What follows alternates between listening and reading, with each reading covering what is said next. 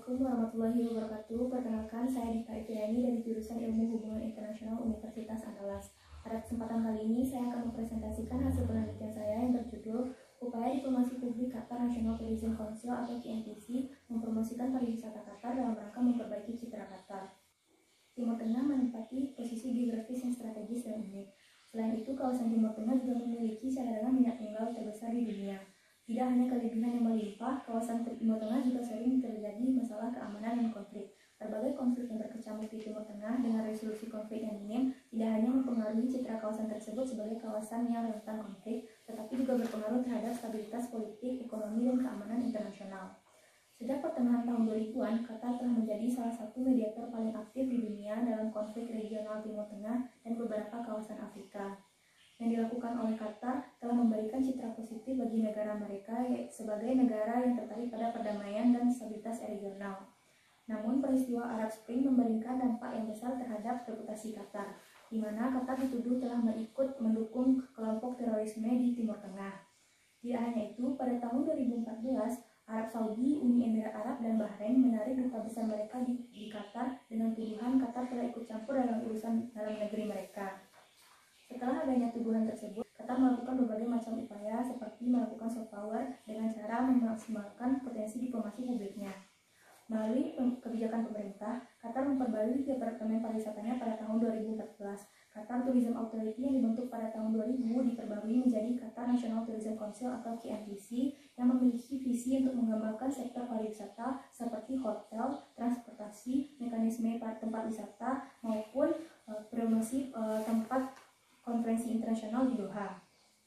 Pada tahun yang sama, KNTC mengeluarkan strategi baru yang bernama Qatar National Tourism Sector Strategy atau KNTSS. Maka dari itu, pertanyaan penelitiannya adalah bagaimana upaya diplomasi publik Qatar memperbaiki citra negaranya melalui Qatar National Tourism Council atau KNTC.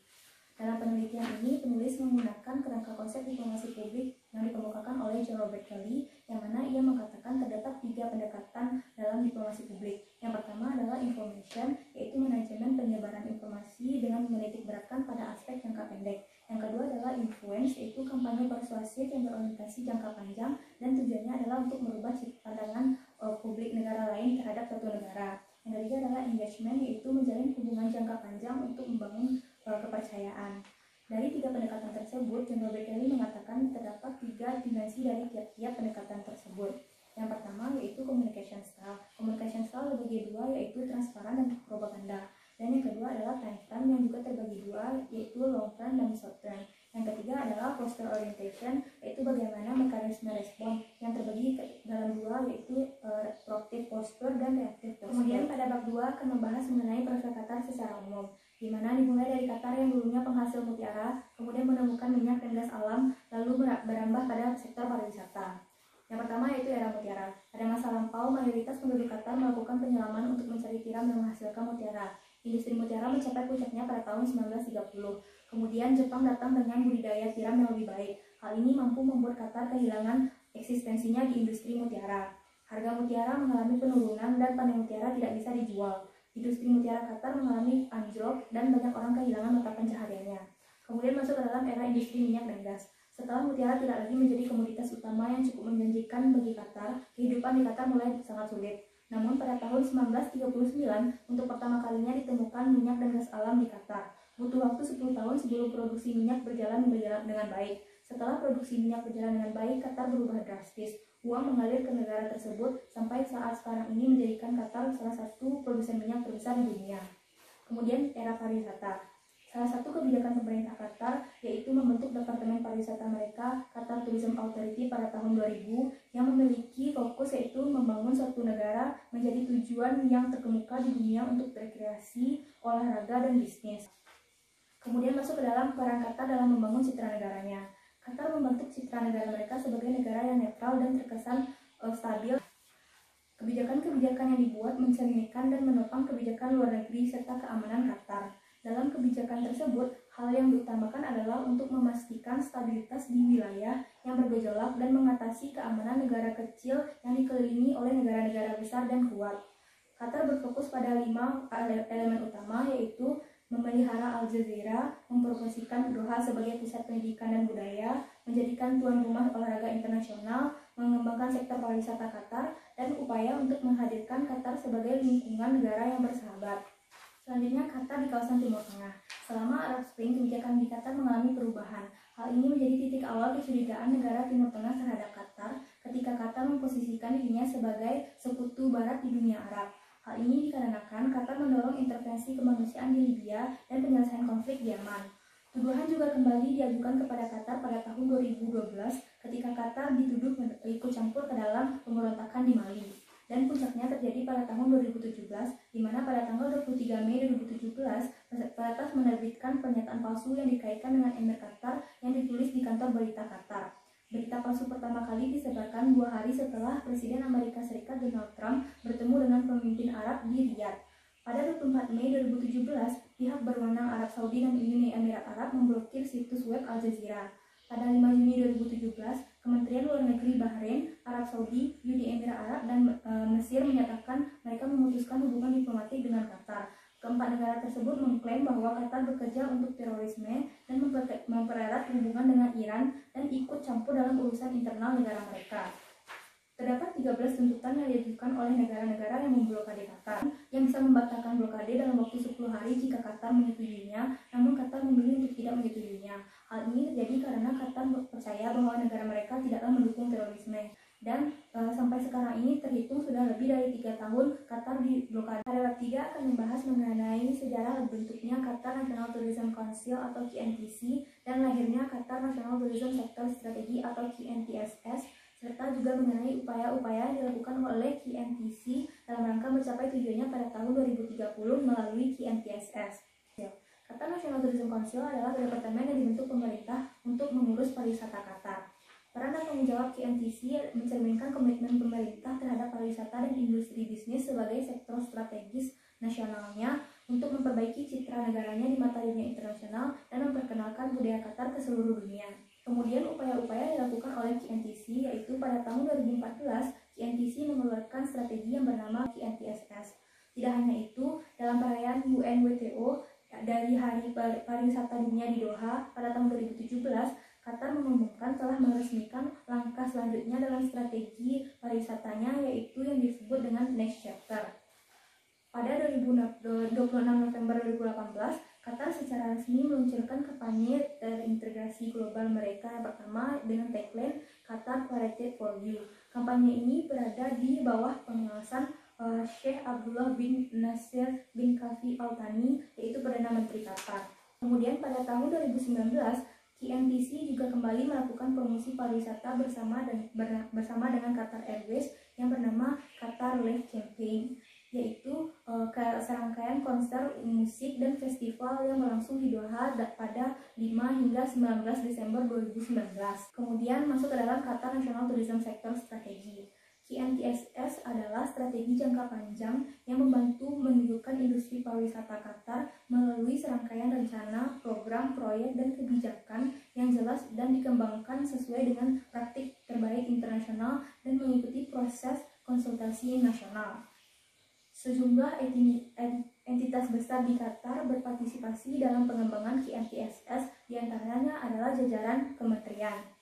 Kemudian, KMTSS sangat penting bagi Qatar jika ingin memastikan bahwa investasi pariwisata mereka efektif. Tidak hanya itu, kegiatan diplomasi publik yang dilakukan oleh KMTC juga bisa dipantau melalui progres yang dicapai melalui strategi ini.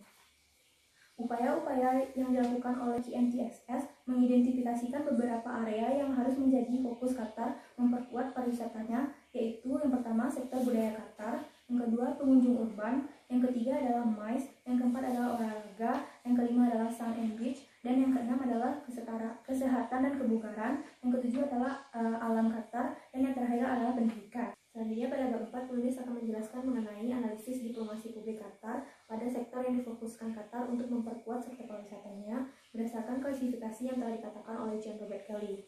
Yang pertama yaitu budaya Qatar. Qatar menawarkan Qatar National Museum. Pada saat peresmiannya dulu, uh, sederet nama terkenal seperti Victoria Beckham, uh, Alexander Wong, Johnny Depp, dan uh, Sanan Kapoor ikut serta diundang oleh KNCC. Kemudian juga uh, ada Sheikh Faisal bin Qasim Al Museum, uh, dan juga ada Maktab Arab Museum of Modern Art lalu Al-Zubara, kemudian adalah Katara Cultural Village. Berdasarkan fakta di atas, mengacu diplomasi uh, yang dikatakan oleh Robert Kelly, maka penulis menyimpulkan uh, communication style yang menggunakannya adalah dengan cara transparan.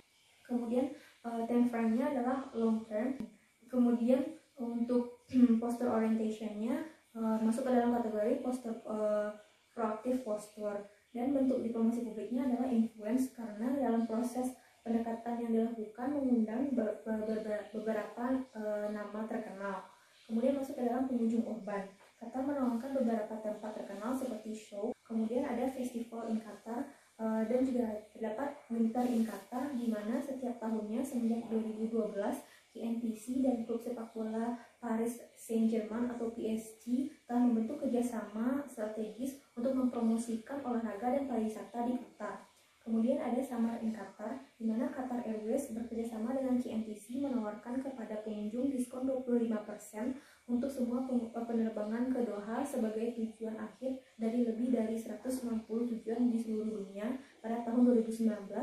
Mengacu pada diplomasi publik Jawa Berkelly, eh, pangkat penulis mengatakan communication style yang digunakannya adalah eh, pada sektor ini adalah transparan, Eh, dan kemudian time frame-nya adalah long term kemudian untuk posture orientation-nya menggunakan posture sedangkan untuk diplomasi publiknya adalah engagement di mana adanya kerjasama antara KNPC dengan PSG dan Qatar Airways kemudian masuk ke dalam sektor MICE uh, uh, Qatar sudah menjadi tuan rumah uh, sejumlah acara internasional dan uh, mengembangkan tempat-tempat pameran kelas 1 di antaranya sebagai berikut yang pertama Doha Exhibition and Convention Center merupakan pusat pameran dan konvensi terkemuka di Doha yang dibangun diresmikan pada tahun 2015. Kemudian Qatar juga menawarkan Qatar National uh, Convention Center.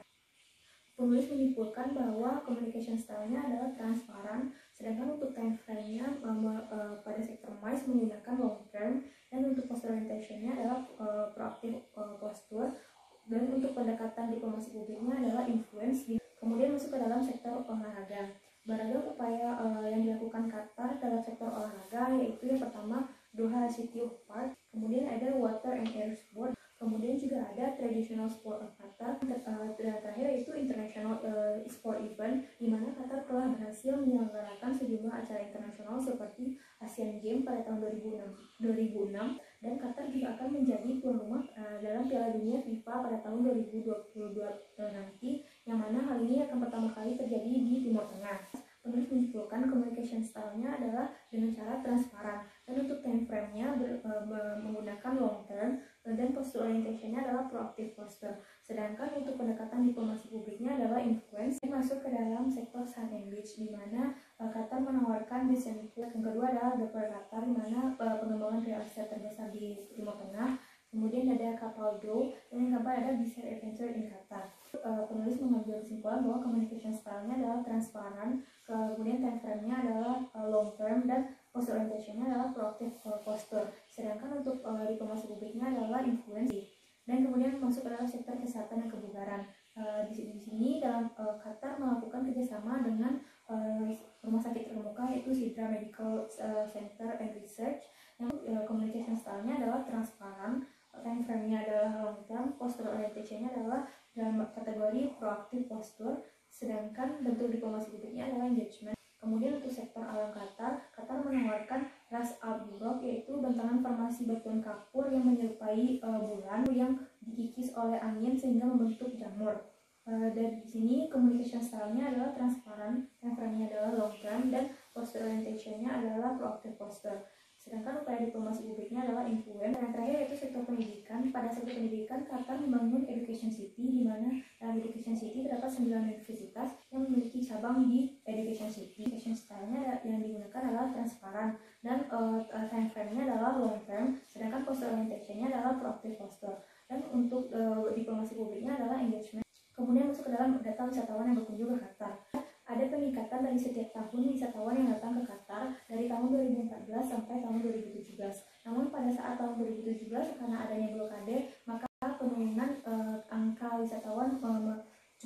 pemerintah di Qatar. Hingga tahun 2018 masih dirasakan oleh Qatar. Namun, pada tahun 2019, angka pengunjung cukup naik di Qatar. Kesimpulan dari penelitian ini adalah uh, diplomasi publik yang dilakukan oleh Qatar uh, mengarah pada pendekatan influence. Kemudian, diplomasi publik yang dilakukan oleh Qatar bisa dikatakan berhasil karena mampu mengajak orang untuk datang ke Qatar. Sekian presentasi saya kali ini. Saya ucapkan terima kasih. Assalamualaikum warahmatullahi wabarakatuh.